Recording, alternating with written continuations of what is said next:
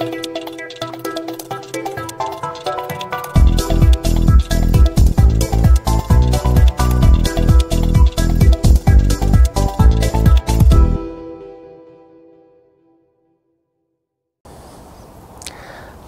and welcome again to these videos on dynamics of structures. We have seen that structures can be excited by all kinds of different sources. In this video we will be dealing with objects which are in a flow. This is the example of a building excited by wind or of an aircraft which is flying at a certain speed.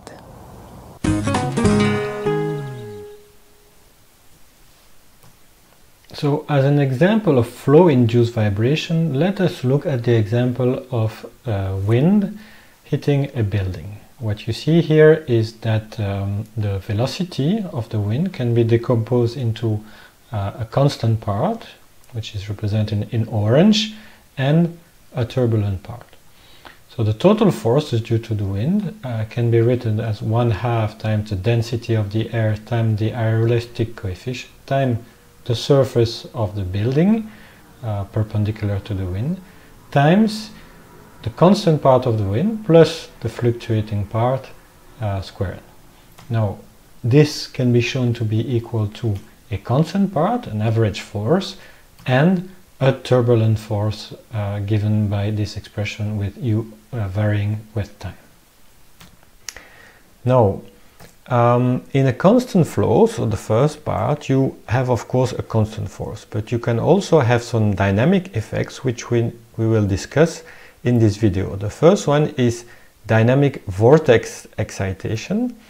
The second one is self-excited vibration, so it's mainly instabilities in the form of galloping, divergence and flutter.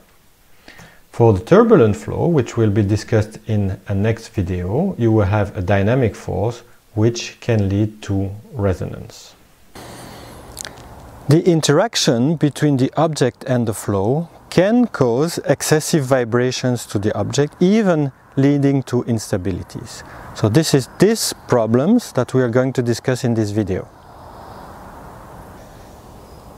So the first problem we're going to address is called vortex-induced vibrations.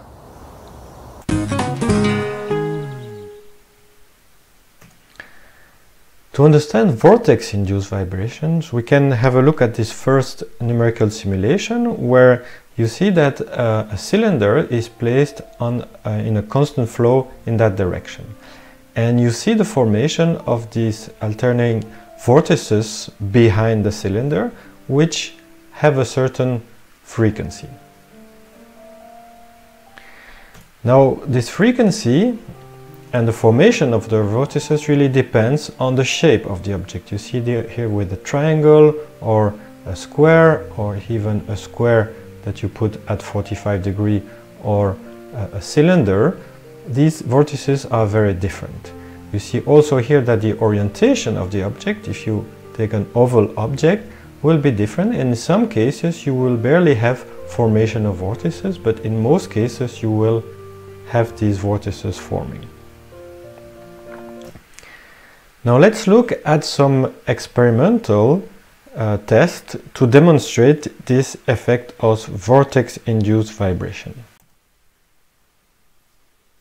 Vortex-induced vibration is a result of aerodynamic forces on a body in this simple demonstration, a balloon vibrates in the free stream of a laboratory wind tunnel.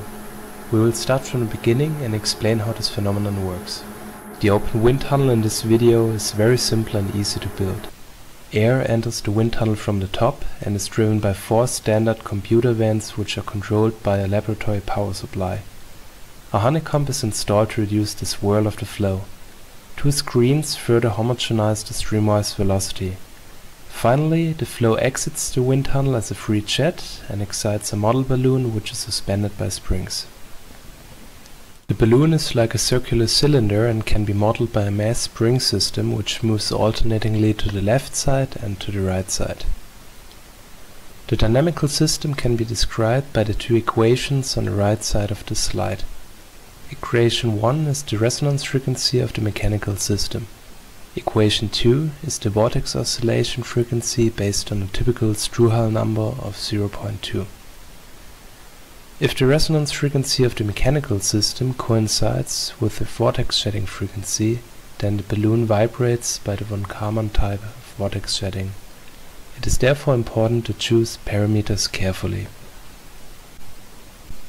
To give you an example, the parameters in this video are the following. It is interesting to note that the mass of the balloon is relatively small. Actually, the mass of the springs is larger and therefore considered in the equation. This gives a mechanical frequency of approximately 6 Hz. The frequency of the vortex shedding is approximately 7 Hz. Note that these frequencies should be the same but can be slightly different. The system will then adjust itself to some extent. Here you can see the oscillation again if the velocity is chosen correctly.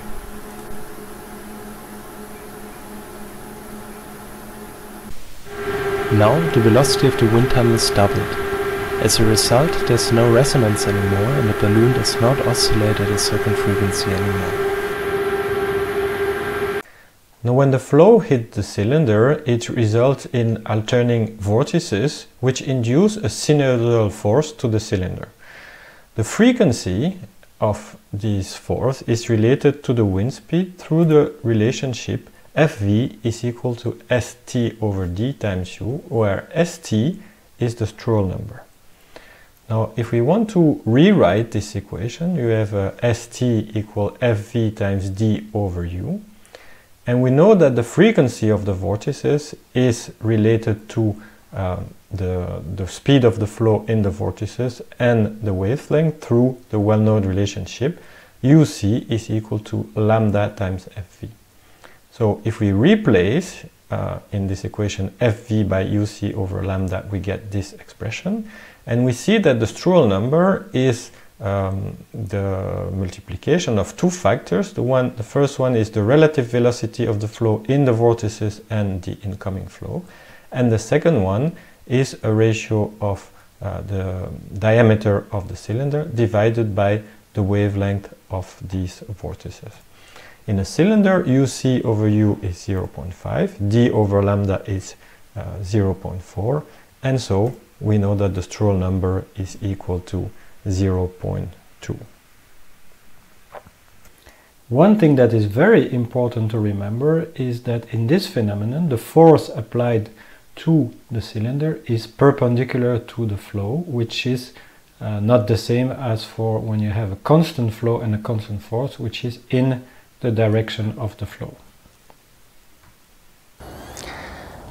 So as a summary, vortex-induced vibration is caused by uh, the constant flow hitting an object and the obstacle causes the flow to deviate, create vortices and these vortices make uh, the object vibrate. The force applied to the object is perpendicular to the flow and the frequency at which these vortices occur depend both on the shape of the object and the velocity of the flow.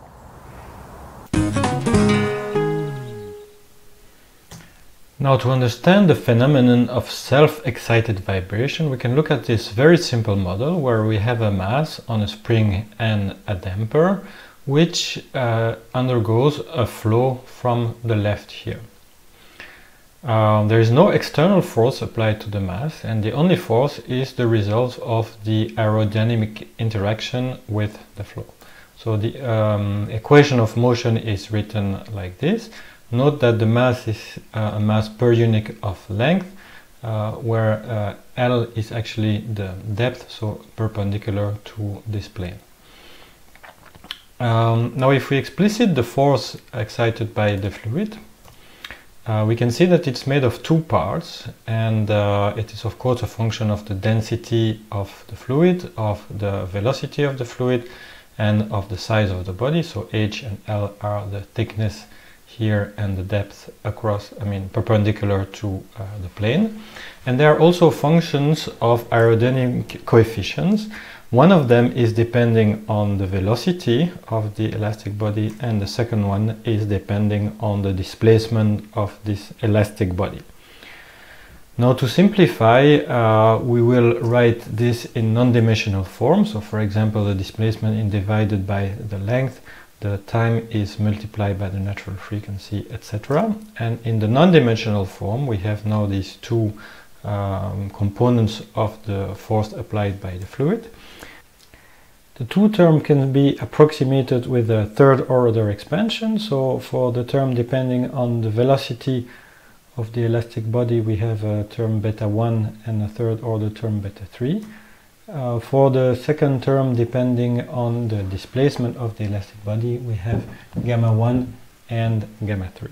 So we now have the equations of motion where we see that the damping term will vary with the fluid velocity ur but also with the velocity of the uh, elastic body and uh, a stiffness part which varies also with fluid velocity and amplitude of elastic body displacement.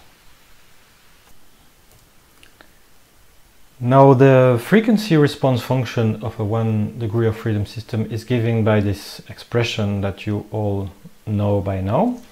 It can also be written in the pole residue form where we have uh, here R which is the residue and lambda, which is the pole. So if we equate these two equations, we can see that lambda is minus psi omega n plus j omega d, and r is minus j over 2m omega d. Here we are interested in lambda, so if we represent lambda in the complex plane, uh, we see that it, ha it has a, a, real part and an imaginary part. As you see, the real part is negative, and the imaginary part is omega d. So the amplitude uh, of the vector, so the distance from the origin is, uh, can be shown to be omega n. Omega d, as we see here, is the imaginary part. The real part is minus psi omega n, so that the angle here is given by psi. Now, if we look at uh, the impulse response of a system, it can uh, also be given by a pole residue model where you see that you have the residue times e to the power of the pole uh, times t and the complex conjugate here. So since this pole is given by uh, minus psi omega n plus j omega d, you see that there is an oscillatory part, uh, but that there is also the exponential part. And what happens is that if this psi becomes negative, so if the pole goes into the region uh, with a positive real part, it leads to instability because we have an exponential with a positive uh, term and so uh, an exponential that grows with time. Now if we apply this to our problem of self-excited vibrations, what we see is that if um, the damping uh, becomes negative, then we will have some oscillatory instability. Uh, here we will consider just uh, to, to look at the, the stability limit, the, the first two terms. So when 2 psi minus beta 1 is equal to 0, we have a, damping that becomes negative, so this part is negligible for the moment. And this is when a phenomenon called galloping will occur. And this galloping can occur in our body in translation or in rotation. And in the case that it is a rotational instability, it is called rotational flutter. Divergence occurs when uh, here the stiffness terms becomes uh, zero, so this is a static instability and again here we're looking at the first two terms to uh, determine this limit of stability. Now for large amplitudes this uh, second term can uh, have an effect, so even though this is an unstable behavior which would lead to infinite displacements of the body. Uh, as you see, the, the, the sign here in front is, in, is positive where this one is negative. So this will tend to stabilize the motion and will lead to what is called limit cycle oscillation. So the body will oscillate with large amplitudes but not infinite ones. So to summarize, the main mechanism of self-excited vibration is that the fluid structure interaction will change the uh, effective stiffness and damping as seen from the mechanical system. A static or a dynamic instability can occur at certain wind speeds. And as every structure is subject to small vibration levels uh, all the time, instability will lead to the magnification of these existing vibrations. And this can cause fatigue damage over the long term or even failure of the structure if the vibration levels are too high. So this simplified one-dimensional model helps us to understand the origin of those instabilities, whether it is galloping, flutter or divergence.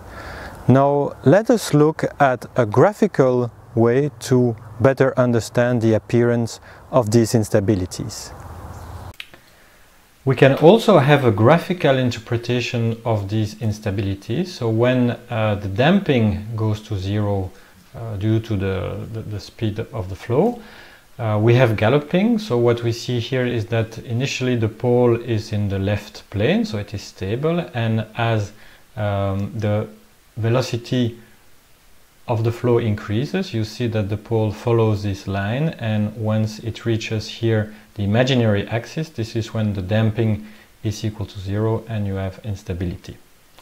For variable uh, stiffness, you see that in this case, the pole is also following as you increase the value of velocity, you see that uh, the stiffness is uh, decreasing and at some point it reaches here um, a, a, zero stiffness. Now for multiple degree of freedom system, different uh, instabilities can occur. So of course you can have divergence and galloping of a uh, single mode. But you can also have coupled mode effect, so which it's called a coupled mode flutter. And in this case, what you have is that uh, as you increase the wind velocity, you see that this pole is uh, following this line, this pole is following this line, and as they tend to get very close, you see that this one is deviated to the right and at some point crosses the imaginary axis due to the interaction with the other mode and it causes instability. Let's summarize. When you have a constant flow, uh, you have a constant force on the body, but you can also have dynamic uh, phenomenon like dynamic vortex excitation. So when the flow uh, create the interaction between the flow and the object will create some vortices uh, behind the object.